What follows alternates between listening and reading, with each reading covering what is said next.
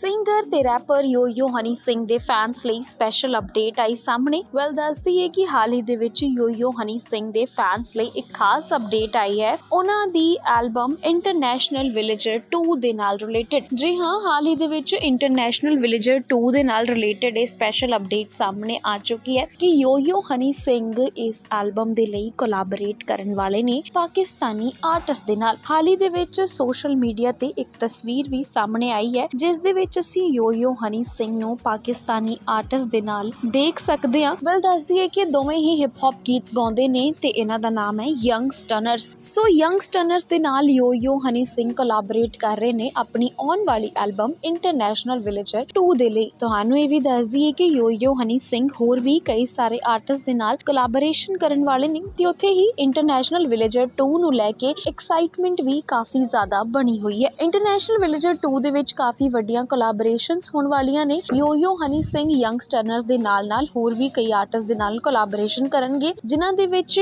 Bohemia, Gippy Grewal ਤੇ ਐਮੀ ਵੇ ਬੰਟਾਈ ਦਾ ਨਾਮ ਸ਼ਾਮਿਲ ਹੈ। ਜੀ ਹਾਂ, ਬਿਲਕੁਲ ਯੋ-ਯੋ, ਹਨੀ ਸਿੰਘ, ਜਿੱਥੇ ਕਿ ਇੰਟਰਨੈਸ਼ਨਲ ਵਿਲੇਜਰ 2 ਤੇ ਕਾਫੀ ਜ਼ਿਆਦਾ ਮਿਹਨਤ ਕਰ ਰਹੇ ਨੇ, ਕਾਫੀ ਯੂਨੀਕ ਸੌਂਗਸ ਲੈ ਕੇ ਆ ਰਹੇ ਨੇ। ਉੱਥੇ ਨਾਲ ਹੀ ਇਹ ਵੀ ਦੱਸਦੀ ਏ ਕਿ ਇਸ ਐਲਬਮ ਦੇ ਵਿੱਚ ਵੱਡੀਆਂ ਕੋਲੈਬੋਰੇਸ਼ਨਸ ਵੀ ਹੋਣ ਵਾਲੀਆਂ ਨੇ। ਜਿਵੇਂ ਕਿ ਅਸੀਂ ਜਾਣਦੇ ਹਾਂ ਕਿ ਇੰਟਰਨੈਸ਼ਨਲ ਵਿਲੇਜਰ ਐਲਬਮ ਨੇ ਲੋਕਾਂ ਨੂੰ ਕਾਫੀ ਜ਼ਿਆਦਾ ਇੰਪ੍ਰੈਸ ਕੀਤਾ ਸੀ। ਤੇ ਇਹ ਵੀ ਦੱਸਦੀ ਏ ਕਿ ਇੰਟਰਨੈਸ਼ਨਲ ਵਿਲੇਜਰ 2 ਦੇ ਲਈ ਵੀ ਲੋਕ ਹੁਣ ਕਾਫੀ ਜ਼ਿਆਦਾ ਐਕਸਾਈਟਡ ਨੇ। ਇੰਟਰਨੈਸ਼ਨਲ ਵਿਲੇਜਰ ਦੇ ਕਰੀਬ 13 ਸਾਲ ਬਾਅਦ ਇੰਟਰਨੈਸ਼ਨਲ ਵਿਲੇਜਰ 2 ਆਉਣ ਵਾਲੀ ਹੈ। ਤੇ ਜਿਵੇਂ ਕਿ ਅਸੀਂ ਜਾਣਦੇ ਹਾਂ ਕਿ ਇੰਟਰਨੈਸ਼ਨਲ ਵਿਲੇਜਰ ਦੇ ਵਿੱਚ ਯੋ-ਯੋ ਹਨੀ ਸਿੰਘ ਨੇ ਗਿੱਪੀ ਗਰੇਵਾਲ ਦੇ ਨਾਲ ਕੋਲੈਬੋਰੇਸ਼ਨ ਕਰਕੇ ਅੰਗਰੇਜ਼ੀ ਬੀਟ ਗਾਣਾ ਬਣਾਇਆ ਸੀ, ਜੋ ਕਿ ਅੱਜ ਤੱਕ ਲੋਕਾਂ ਦੇ ਵੱਲੋਂ ਬੇहद ਪਸੰਦ ਕੀਤਾ ਜਾਂਦਾ ਹੈ। ਸੋ ਹੁਣ ਵੇਖਦੇ ਹਾਂ ਕਿ ਇੰਟਰਨੈਸ਼ਨਲ ਵਿਲੇਜਰ 2 ਦੇ ਵਿੱਚ ਜਦੋਂ ਗਿੱਪੀ ਗਰੇਵਾਲ ਤੇ ਯੋਯੋ ਹਨੀ ਸਿੰਘ ਇਕੱਠੇ ਆਉਂਦੇ ਨੇ, ਤੇ ਕੀ ਕੁਝ ਖਾਸ ਹੁੰਦਾ ਹੈ? ਵੈਲ ਬੋਹੇਮੀਆ ਦੇ ਨਾਲ ਯੋ-ਯੋ ਹਨੀ ਸਿੰਘ ਪਹਿਲੀ ਵਾਰ ਕੋਲੈਬੋਰੇਟ ਕਰਨਗੇ, ਇਸ ਦੇ ਨਾਲ ਹੀ ਐਮੀ ਬੰਟਾਈ ਦੇ ਨਾਲ ਵੀ। ਯੋ-ਯੋ ਹਨੀ ਸਿੰਘ ਪਹਿਲੀ ਵਾਰ ਕੋਲੈਬੋਰੇਸ਼ਨ ਕਰਨ ਵਾਲੇ ਨੇ ਤੇ ਇਸ ਤੋਂ ਇਲਾਵਾ ਜੇਕਰ ਯੰਗਸਟਰਨਰਸ ਦੀ ਗੱਲ ਕਰੀਏ ਤੇ ਇਹ ਜਿਹਾ ਵੀ ਪਹਿਲੀ ਵਾਰ ਹੋਣ ਵਾਲਾ ਹੈ। ਸੋ ਯੋ-ਯੋ ਹਨੀ ਸਿੰਘ ਦੀਆਂ ਨਾ ਫਰੈਸ਼ ਕੋਲੈਬੋਰੇਸ਼ਨਸ ਲਈ ਕਿੰਨੇ ਐਕਸਾਈਟਡ ਹੋ ਕਮੈਂਟ ਏਰੀਆ ਦੇ ਵਿੱਚ ਜ਼ਰੂਰ ਦੱਸਿਓ। ਉਹਨਾਂ ਵੱਲੋਂ ਗਾਏ ਗੀਤ ਤੁਹਾਨੂੰ ਕਿਹੋ ਜਿਹੇ ਲੱਗਦੇ ਨੇ ਇਹ ਵੀ ਸਾਂਝਾ ਕਰ ਸਕਦੇ ਹੋ ਕਮੈਂਟ ਸੈਕਸ਼ਨ ਦੇ ਵਿੱਚ। ਫਿਲਹਾਲ ਦੇ ਲਈ ਇਸ ਵੀਡੀਓ ਅਪਡੇਟ ਦੇ ਵਿੱਚ ਬਸ ਇਨਾ ਹੀ। ਬਾਲੀਵੁੱਡ ਤੇ ਐਂਟਰਟੇਨਮੈਂਟ ਇੰਡਸਟਰੀ ਨਾਲ ਜੁੜੀਆਂ ਹੋਈਆਂ ਲੇਟੈਸਟ ਅਪਡੇਟ ਵੀਡੀਓ ਤੇ ਇੰਟਰਵਿਊਜ਼ ਲਈ ਤੁਸੀਂ ਜੁੜੇ ਰਹੋ ਦੇਸੀ ਚੈਨਲ ਦੇ ਨਾਲ। ਧੰਨਵਾਦ।